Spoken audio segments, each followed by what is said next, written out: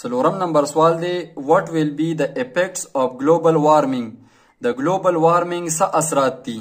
ګلوبل وارمنګ وی د دنیا دا ګرمیدل د دنیا دا هیټ اپ کیدو ته مونږه ګلوبل وارمنګ وی افیکټس اف ګلوبل وارمنګ